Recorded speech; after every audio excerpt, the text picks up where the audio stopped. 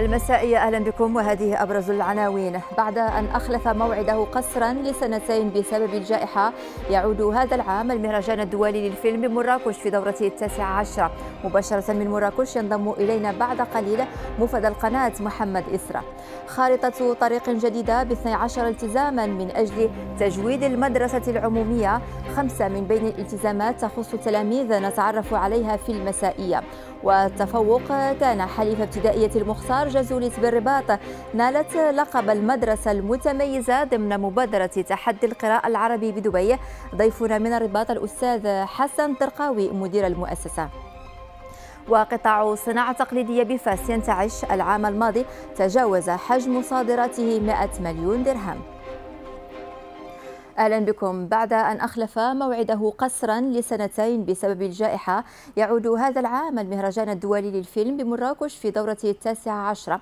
موعد هام في عالم السينما. انطلق هذا المساء بقصر المؤتمرات حفل افتتاحه برنامج المهرجان سيعرف عرض 76 شريطا سينمائيا يمثل 33 دولة من بينها 14 فيلما طويلا. الأفلام ستقدم خلال مختلف أقسام المهرجان الثمانية بما فيها المسابقات الرسمية والعروض الخاصة بساحة جامع الفنا. والصور التي نتابع هي من وصول ضيوف ونجوم المهرجان الممتد إلى غاية التاسع عشر من هذا الشهر.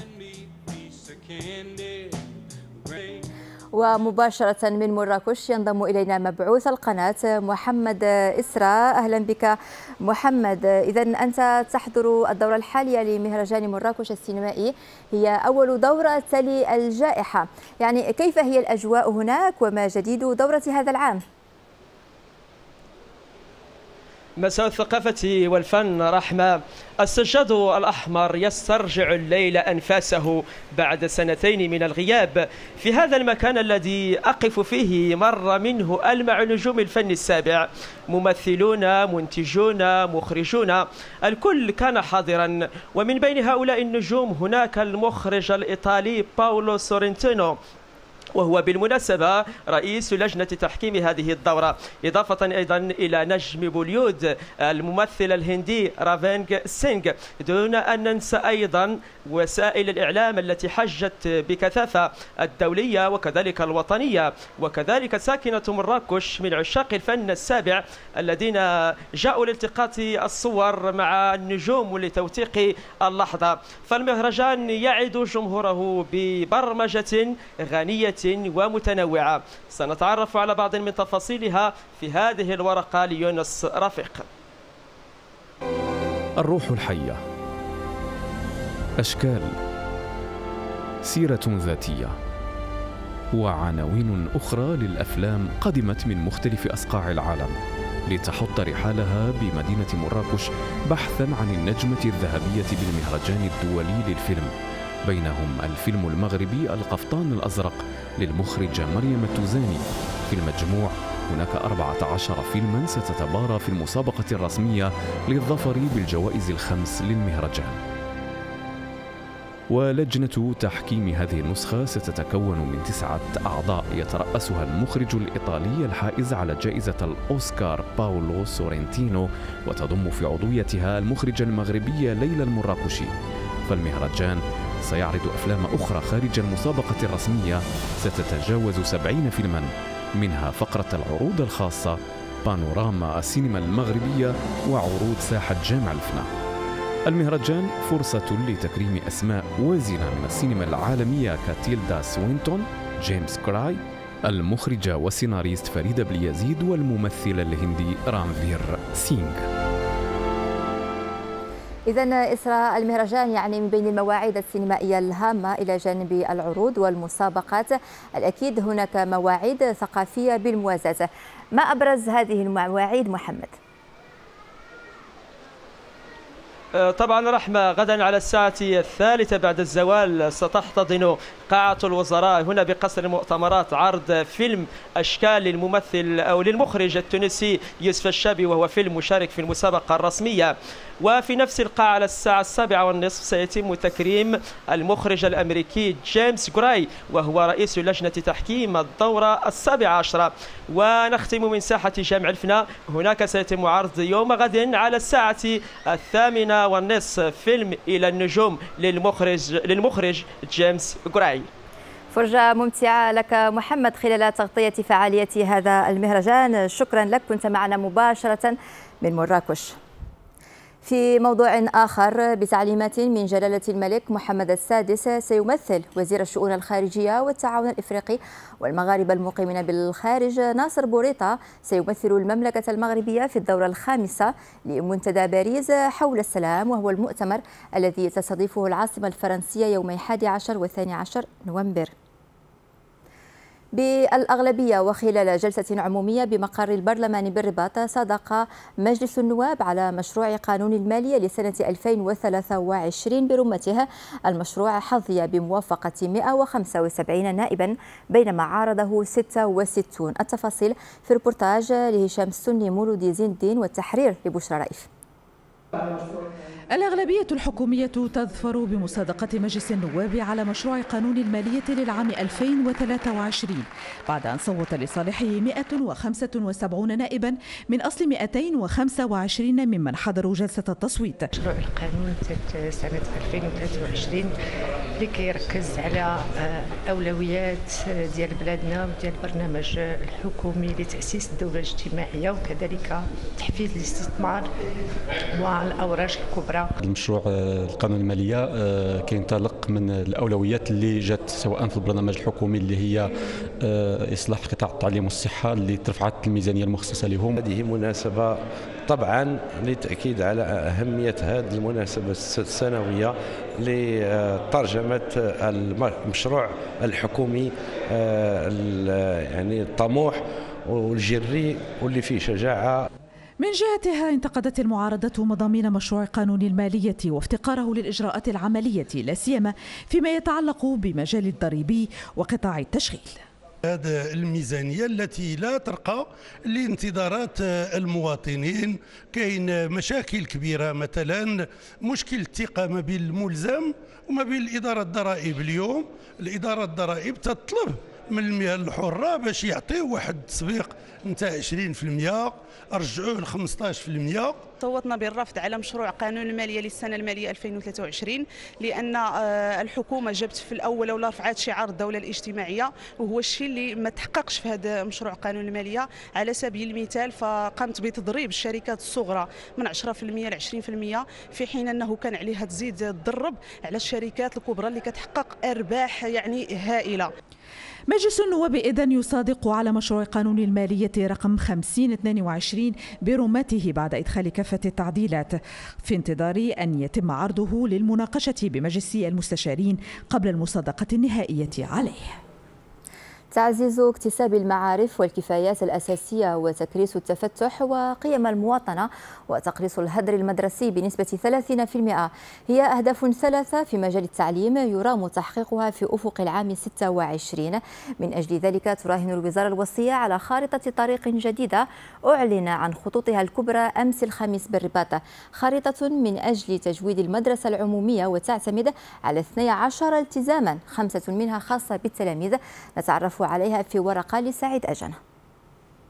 خارطة طريق ب 12 التزاما من أجل مدرسة عمومية بجودة أفضل. المخطط يضع التلميذ في المقدمة من خلال ضمان جودة تعليم أولي تقاس بكيفية ممنهجة. بالإضافة إلى هدف استفادة أزيد من 90% من الأطفال من التعليم الأولي في أفق 2026 من سن الرابعة إلى سن السادسة عشر كيفاش نجعلوا التلاميذ يكونوا موجودين داخل المدارس آه، مهما كان آه، الوسط الاجتماعي ديالهم أو المجالي. التتبع والمواكبة الفردية للتلاميذ لتجاوز صعوبات التعلم. هدف هو الآخر ضمن أولويات المخطط من خلال إرساء نظام للإنذار للرصد المبكر للتلاميذ المحتمل انقطاعهم عن الدراسة والتدخل في الوقت المناسب. كيفاش يمكننا نواكبوا التلاميذ آه، اللي عندهم صعوبات في آه، في المدرسة في الأقسام ديالهم واللي في الحقيقة إلا ما كانش واحد الدعم تربوي استدراكي خاص بهاد التلاميذ في الحقيقة تلاحظوا بأن آه، إما تيكرروا سنة إما بعد واحد المدة تيغادروا تيغادروا المدرسة مخطط إصلاح التعليم العمومي ركز كذلك على أهمية توجيه التلاميذ نحو مسارات تعليمية تتلائم مع مؤهلاتهم وكذا توفير الدعم الاجتماعي من أجل تحقيق تكافؤ الفرص بين كافة المتعلمين.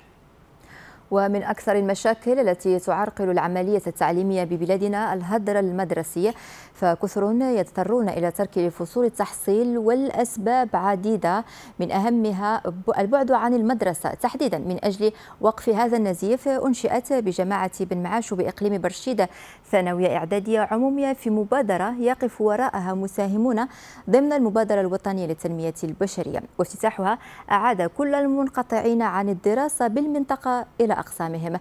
ربورتاج حسن لحمدي وآمين حدو. فصل جديد من فصول ورش التربية والتكوين في شقه المتعلق بإحداث البنية التحتية يدشن اليوم بالجماعة الترابية بالمعاشو الثانوية الإعدادية التحدي قربت المسافات وحولت حلم متابعة الدراسة إلى حقيقة.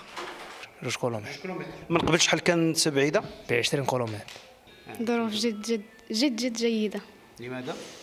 لأن هذه المدرسة متنفس لنا لأننا كنا ندرس بمدرسة بعيدة. بالنسبة لي بلي ضافت شي حاجة هنايا لهاد المنطقة حيت ما كاين حتى شي مؤسسة زعما كانوا مكرسين الدراري كانوا كيقراو في مؤسسة بعيدة. مبادرة شخصية تعزز الجهود الرامية إلى الرقي بالتعليم بالعالم القروي. إلى جانب مساهمة برنامج المبادرة والجماعة الترابية بالمعاشو ووزارة التربية الوطنية. إنشاء هذه المؤسسة جاء بالخصوص لمحاربة الهدر المدرسي لأن الأطفال آه، كانوا كي يمشيو في الطريق أكثر من 20 كيلومتر باش يلقاو شي مؤسسة فين يكملوا التعليم ديالهم. وبغينا إحنا نقربوا المدرسة المؤسسة للدراري اللي باش ما يكونش هدر مدرسي وباش يكملوا آه، المسار الدراسي ديالهم. تتوفر الثانويه الاعداديه التحدي على مكتبة تضم مختلف الخدمات البيداغوجية التي يحتاجها التلاميذ. خلال مسارهم الدراسي. هذه إعدادية اللي الآن فيها أكثر من 200 تلميذ وتلميذة اللي كانوا من قبل تيخصهم ينتقلوا واحد 20 كيلومتر واللي اليوم هي موجودة قريب من الدواوير الدواوير ديالهم. بطبيعة الحال هذا في نفس الوقت غادي ينقص ورفع من من عدد التلاميذ اللي هما التحقوا بالمؤسسة. وثانيا غادي يساعد أيضا باش نرفعوا من الجودة ديال آه، التدريس داخل المؤسسة. التحدي وشعار يرفعه كل المتدخلين في الشأن التربوي ببلادنا خاصة وأننا نعيش اليوم على إيقاع الورش الكبير لإصلاح منظومة التربية والتكوين.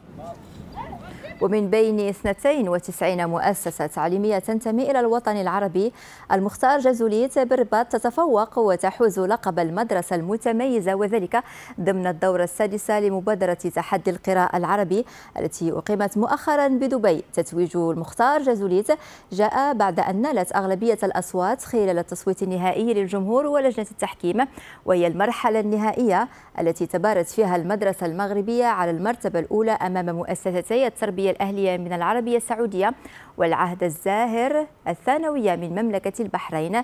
برنامج تحدي القراءة العربية الذي أطلقه الشيخ محمد بن راشد آل مكتوم نائب الرئيس الإماراتي رئيس مجلس الوزراء حاكم دبي يهدف إلى تمكين الأجيال الصاعدة من المعرفة وترسيخ ثقافة القراءة كممارسة يومية. ومباشرة من الرباط ينضم إلينا مدير ابتدائية المختار جزوليت الأستاذ حسن الدرقاوي مرحبا بك أستاذ. إذا في البداية نهنئكم جميعا تلامذة وأطر تربوية على هذا التتويج المستحق. كيف تلقيتم هذا النجاح الذي يعد جزءا من بريق المدرسة العمومية؟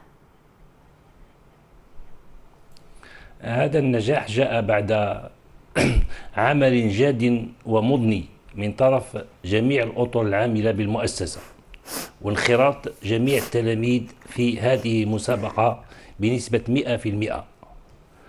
100% بالسنة الماضية حصلنا على مرتبة مشرفة المرتبة الأولى بالأكاديمية الجهوية للتربية والتكوين بجهة الرباط سلا القرنطرة وهذه السنة تم التوفيق وحصل أصبحت مدرسة المختار جازويت مدرسة متميزة على الصعيد الوطن العربي. جاء هذا التتويج نتيجة انخراط جميع الأساتذة والتلاميذ في المسابقة. أولا آه، قبل الانخراط في المسابقة تم تشكيل نادي للقراءة بالمؤسسة يضم آه، بالإضافة إلى مدير المؤسسة الأطر التربوية ومجموعة من التلاميذ. نعم ثم انخراط في مسابقة تحدي القراءة. نعم يعني هذا النجاح نجاح من هذا القبيل يعني يبقى رهينا بمجهودات كبيرة وعمل جاد لكل مكونات المدرسة. يعني تبذل من أجل تحقيق التفوق. ما الذي اشتغلتم عليه ومكنكم من تحقيق هذا الفوز من بين عدة مدارس مشاركة في المسابقة؟ نعم. أولا قمنا بتشكيل كما قلت فريق القيادة في مشروع تحدي القراءة الذي يضم الأطر التربوية والإدارية بالمؤسسة وبعض التلاميذ.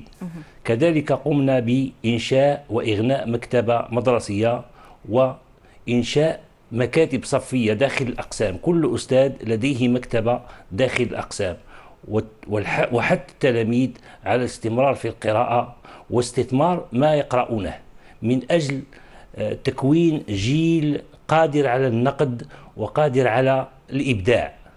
نعم إذا الفوز يعني هو نجاح معنوي. المؤس... تفضل سيدي تفضل. نعم هذا نجاح معنوي أكثر ما هو مادي. وهذا تشريف للمملكة المغربية بصفة عامة وللمدرسة المغربية بصفة خاصة. هذا التتويج ليس تتويج مدرسة المختار جازوليتي وحدها وإنما هو تتويج للشعب المغربي كافة. نعم. ونحن بدورنا نهدي هذا التتويج. تفضل. نعم. نعم ونحن بدورنا نهدي هذا التتويج لجلالة الملك محمد السادس نصره الله وأيده.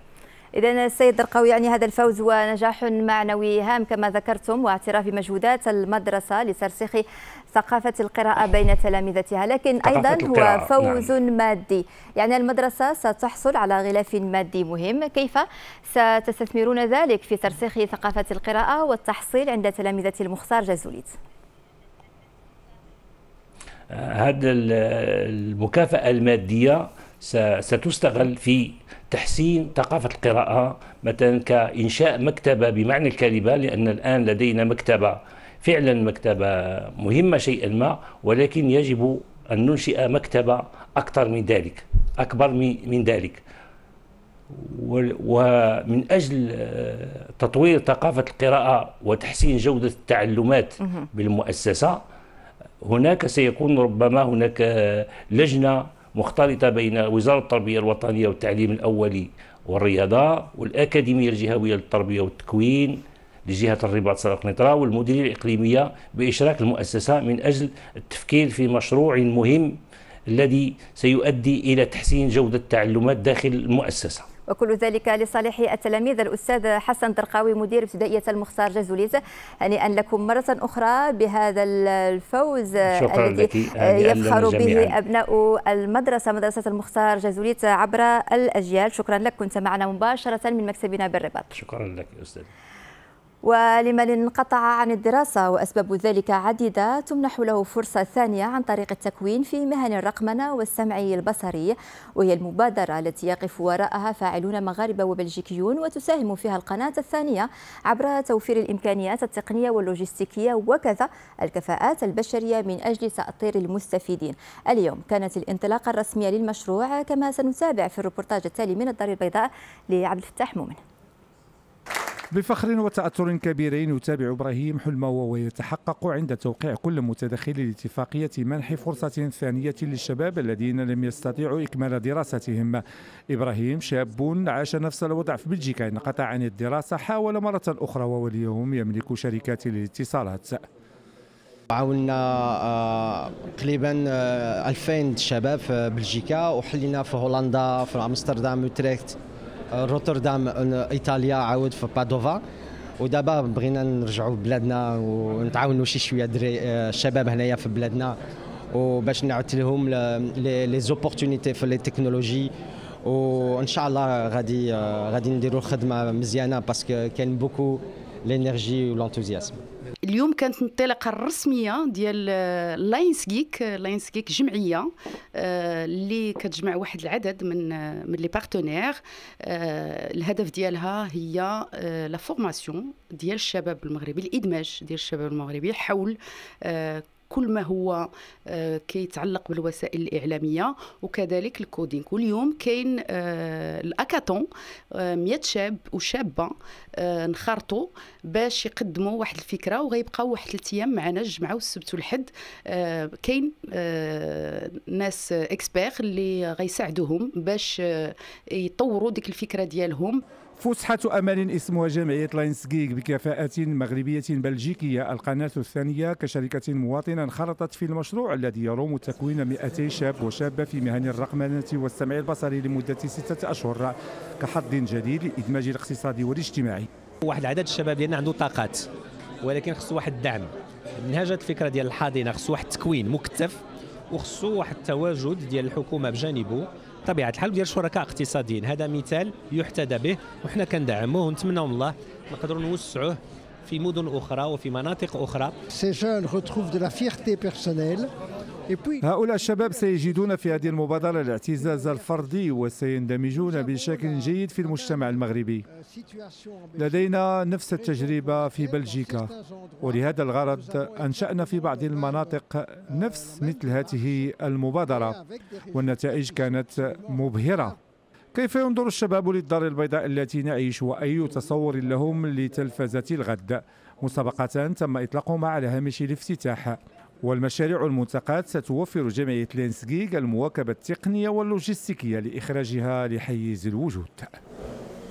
المسائية متواصلة وفيها أيضا ببوزنقة انطلاق المؤتمر الوطني الحادي عشر لحزب التقدم والاشتراكية. والمهرجان الثقافي سيدي المختار واحد من الملتقيات الثقافية الأكثر شعبية في المملكة. كما ورد في العناوين انطلقت مساء اليوم ببوزنقة أشغال المؤتمر الوطني الحادي عشر لحزب التقدم والاشتراكية بمشاركة أكثر من ألف مؤتمر من مختلف جهات المملكة. مناضلو الحزب يراهنون على قياداته الجديدة لوضع خارطة طريق تساهم في تقوية أداء الحزب على المستوى الوطني. التفاصيل مع محمد بوبكر ويوسف لطفي. التقدم والاشتراكية يعقد مؤتمره الحادي عشر بحضور قيادات تمثل عدد من الأحزاب الوطنية والنقابات إلى جانب مشاركة عدد من قادة الأحزاب السياسية الأجنبية والمنظمات الدولية. الزياد من ألف مؤتمر يمثلون مختلف الجهات نعتقد ونحن من موقع المعارضة بأن البلاد في أمس الحاجة إلى هذا البديل الديمقراطي التقدمي وفي أمس الحاجة إلى حشد الطاقات لمواجهة التحديات اللي نطرحها اليوم في الساحة سواء المرتبطة بقضايانا الوطنية الأساسية أو الديمقراطية أو الاجتماعية. والحزب يغتنم هذه الفرصة لمراجعة الذات كذلك من أجل تقوية أدائه. قيادات حزب الكتابة تؤكد أن المؤتمر الحادي عشر محطة لبعث روح جديدة في عمل الحزب ورسم آفاق واعدة تعيد للإنخراط والممارسة الحزبية جاذبيتها. المؤتمر الوطني مناسبة محطة لبلورة التوجهات الأهم التوجهات الكبرى التي يتبناها الحزب في مسيرته النضالية. نعقد مؤتمر الوطني الحادي عشر لحزب التقدم والاشتراكية في آه، سياق وطني ودولي صعب محمل بالعديد من التحديات. آه، طبعا المؤتمر سيتدارس وسيصادق على العرض السياسي الذي يقدمه الحزب. على مدى ثلاثة أيام يدخل حزب التقدم والاشتراكية مؤتمره الحادي عشر باحثا عن قيادة تحمل المشعل أمام متغيرة جديدة وفي سياق وطني ودولي يحمل بين طياته حالة من المخاض الاجتماعي والسياسي. في الخبر الصحي الكشف المبكر عن سرطاني الثدي وعنق الرحم أساسي في معركة محاربة هذين السرطانين الأكثر انتشارا بين نساء المغرب والمسؤولان عن عدد هام من الوفيات ما يجعل من انتشارهما مشكلة تهم الصحة العمومية. من أجل التوعية بخطورة المرض وبحيوية الكشف المبكر نظم المركز الاستشفائي الجامعي محمد السادس بوجدة يوما تحسيسيا لفائدة النساء. كما سنتابع في ريبورتاج عبد الحميد المرابط ويونس الناصري.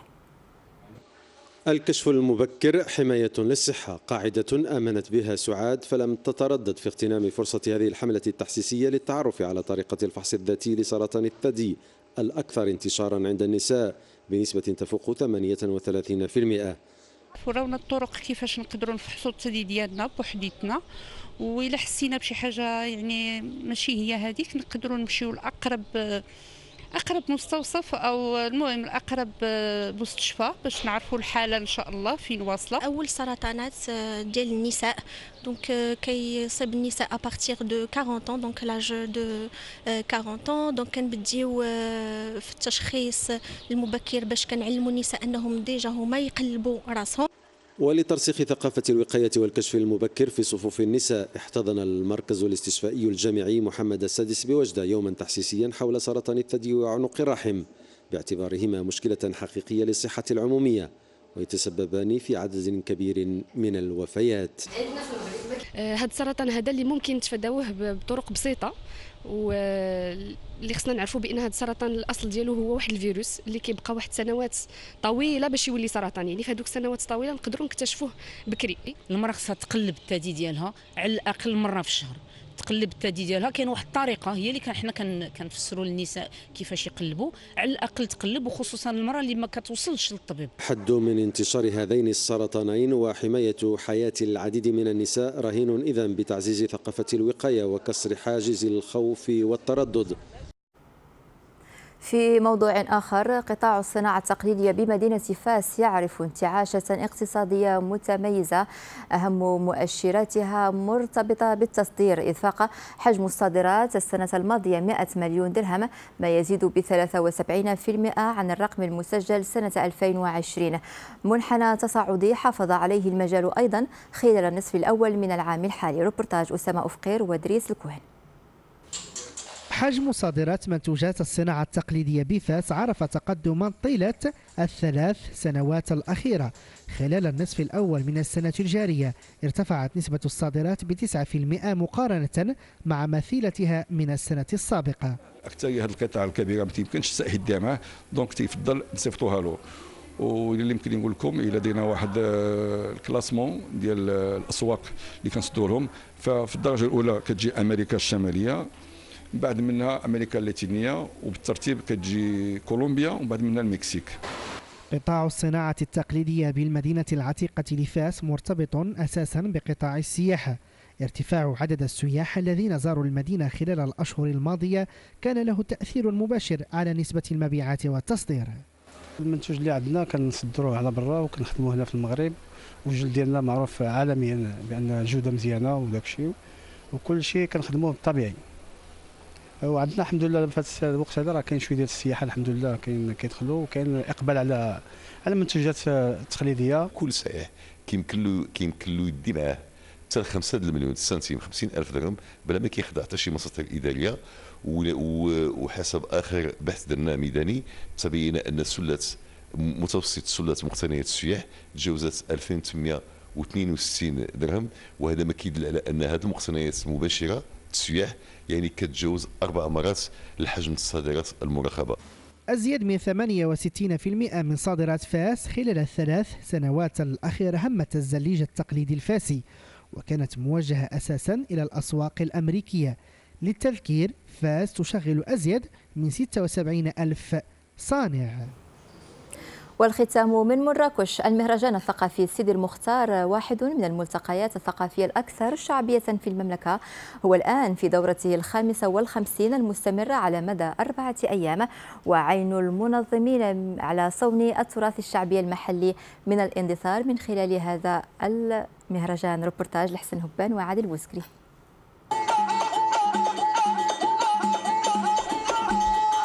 الرقصة الهوارية. رقصة شعبية عريقة تربعت على عرش قلوب سكان منطقة هوارة في قلب سهل سوس منذ قرون أصبحت عنوانا لثقافة محلية بل اندثار. إحنا ميزان هوارة هو جاينا في الدم. وحنا محتفظين عليه وكندخلوا ليه شباب. دابا كندخلوا شباب باش يبقى محتفظ على ميزان هوارة يبقى كذلك لفرقية بوريدا وهجها الخاص لجمالها وانضباط حركاتها الأهم من كل هذه المهرجانات الحركية الاقتصادية والدينامية الثقافية التي تبثها في هذه المنطقة. كيبان لكم الشباب الحمد لله راه تعاطوا لهذا الفن وتعاطوا لهذا الموروث اللي خلاوه لينا الجدود. والحمد لله رحنا واخدين المشعل. هذا الموسم هذا اللي كي كتكون فيه صلة الرحم وكيزورونا عدة قبائل من الأقاليم الصحراوية.